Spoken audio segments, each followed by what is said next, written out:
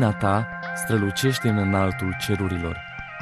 Când ea se naște la răsărit, toată lumea se umple cu frumusețea ta.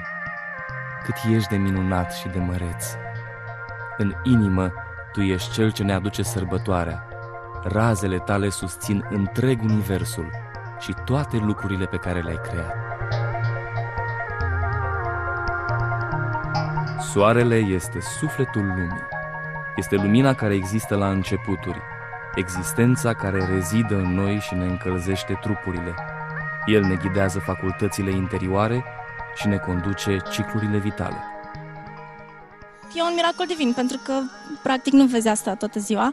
Un fenomen splendid, o bucurie extraordinară. O nouă speranță. A fost foarte frumos. Mi-a inspirat o stare de armonie extraordinară, așa, o împlinire sufletească foarte mare.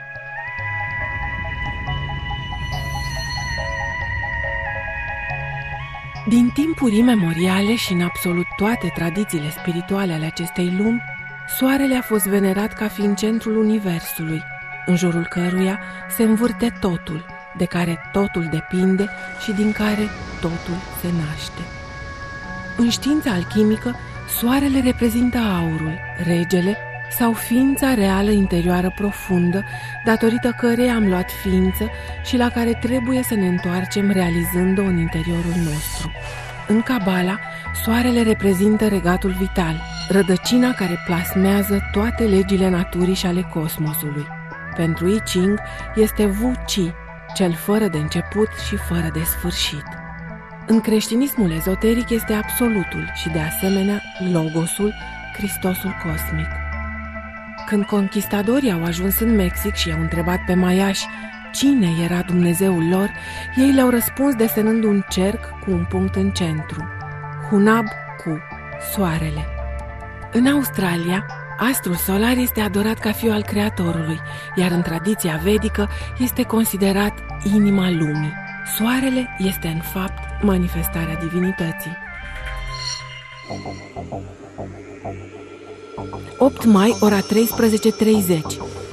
Băile Herculane Martori, sute de oameni Soarele este înconjurat de un halou în culorile curcubeului.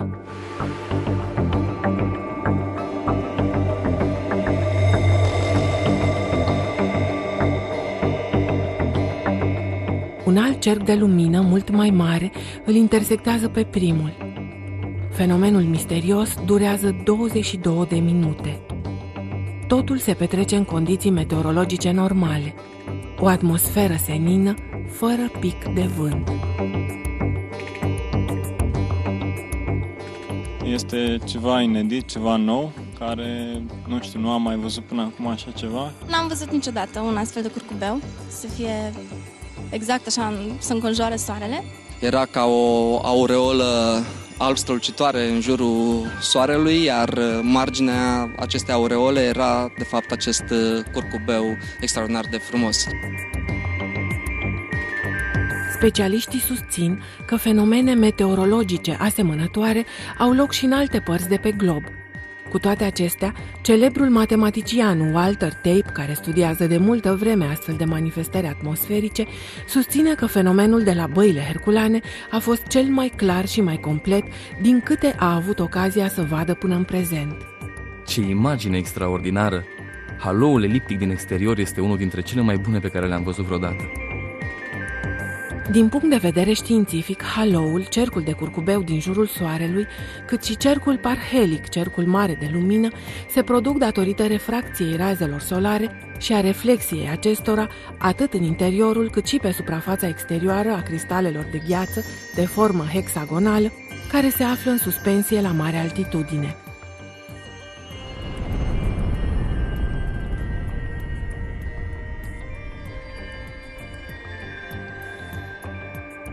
Experta în fenomene atmosferice, Eva Zeidenfaden, a studiat și ea fotografiile din stațiunea Băile Herculane și a fost uimită de acuratețea acestui fenomen meteorologic.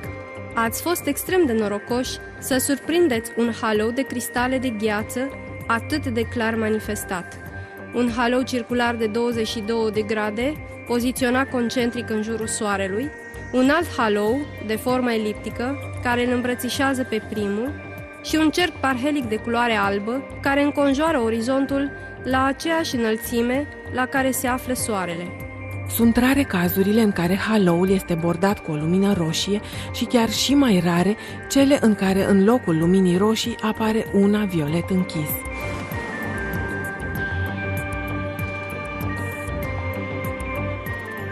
Mi-a povestit cineva că este grația unui arhanghel. Dar chiar și fără să știi, fără să ai informația asta, simțeai că e un miracol divin, pentru că practic nu vezi asta toată ziua.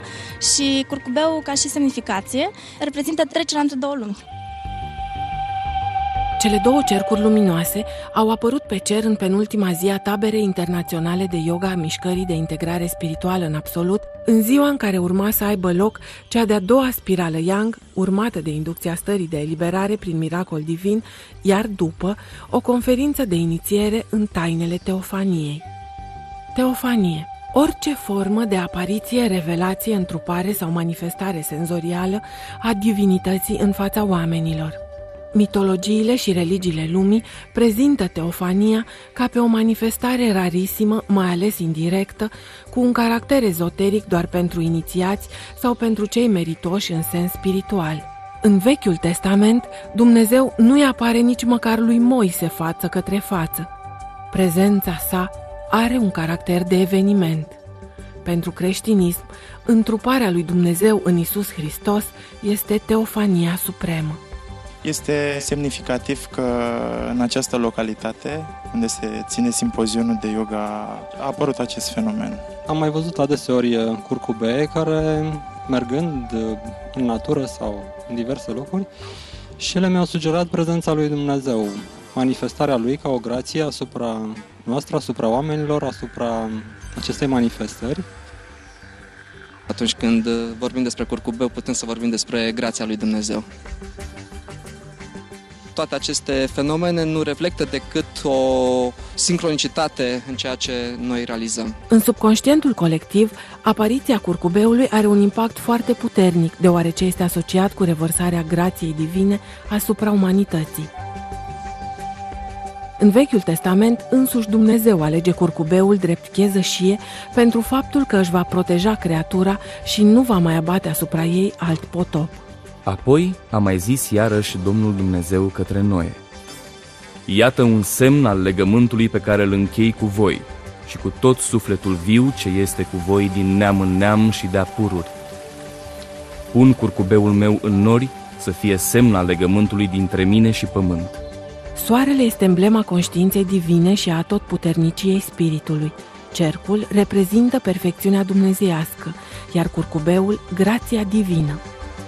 Mesajul spiritual al acestui misterios fenomen ar putea fi interpretat și cu aceste cuvinte.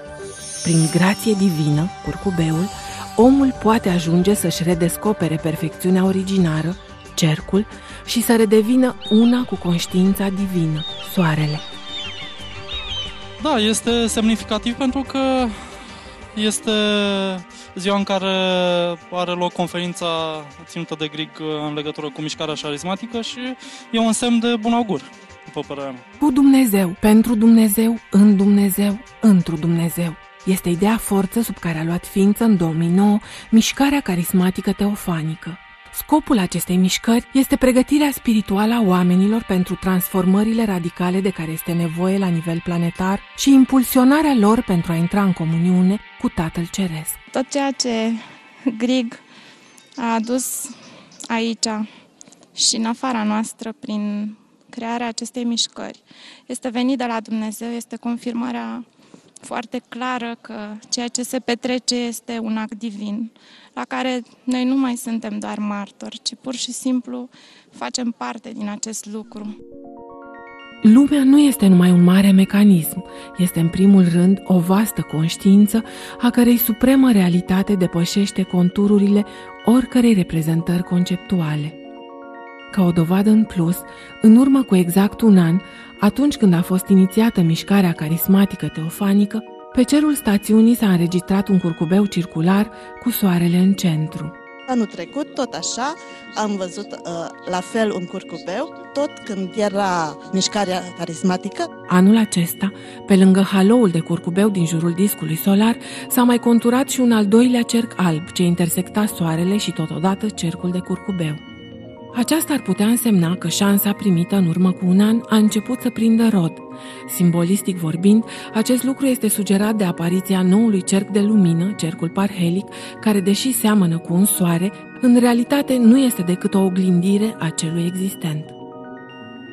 Asta înseamnă, după părerea mea, să fii chemat, să-L simți pe Dumnezeu atunci când te cheamă și cum îți spune ceva să alergi după El cu toate puterile tale, atât câte ai. Și dacă n-ai, cerul Doamne, Doamne, și sigur îți dă până la capăt cât îți este necesar. Nu e ușor, cred că nu e ușor pentru niciunul dintre noi, dar e minunat și este singurul lucru real, singurul lucru adevărat pe care la care viața ne dă șansa să, să ajungem. Dumnezeu ne cheamă la El, trebuie numai noi să fim conștienți de asta și să primim ceea ce El ne dăruiește, să învățăm să primim. Sincronicitatea este expresia tainică și uluitoare a omniprezenței și a omnipotenței lui Dumnezeu Tatăl. O altă dovadă a faptului că ceea ce s-a petrecut este doar încă una din nenumăratele urme fascinante și misterioase ale pașilor lui Dumnezeu în manifestare o confirmă și numărul mare de sincronicități. Cred că se corelează cu ceea ce o să fie de seară, cu mișcarea șarismatică. Apariția primului curcubeu chiar în ziua în care este inițiată mișcarea carismatică teofanică, Repetarea amplificată a acestui fenomen după exact un an, în ziua în care este programată o altă manifestare inițiatică teofanică. Fenomenul înregistrat pe 8 mai s-a manifestat într-un interval de timp de 22 de minute, la fel ca numărul gradelor pe care îl are haloul circular din jurul Soarelui. În tradițiile spirituale, 22 este considerat a fi numărul absolutului divin, sau cu alte cuvinte, al lui Dumnezeu. Aceste fascinante fenomene misterioase sunt hrana spirituală pe care îngerii, cei care de fapt le instrumentează, ne-o dăruiesc pentru a ne trezi și a ne lumina calea. Prezența lui Dumnezeu este peste tot, ne însuflețește, ne susține și adeseori oamenii privesc, dar nu văd sau ascultă, dar nu aud. Totul e să fim cu ochii deschiși atunci când Dumnezeu este prezent, pentru că avem toate șansele să devenim una cu El, mult mai ușor. A fost sau nu un miracol? Știința spune că e vorba de un simplu fenomen atmosferic rar, dar posibil. Din punct de vedere spiritual, este însă un semn clar al divinității. Multe dintre așa zisele conflicte dintre spiritualitate și știință, de fapt, nu există. Adesea, spiritualitatea poate să răspundă la întrebări la care știința contemporană nu are încă un răspuns. În foarte multe cazuri, răspunsurile date de spiritualitate nu numai că oferă o cale sigură de a descoperi adevărul, dar creează și un cadru pentru o societate mai bună. Spiritualitatea oferă speranța că Universul are un sens, unul desemnat special pentru dezvoltarea ființei umane – lucru pe care chiar și știința a ajuns într-un final să-l valideze. M-am bucurat foarte tare, am simțit o mare liniște și bucurie în același timp și am zis, uh, da, Dumnezeu ne face cu mâna, ne dă un semn. Un semn miraculos al alianței divine care s-a manifestat în cadrul taberei spirituale de la Herculane în data de 8 mai 2010.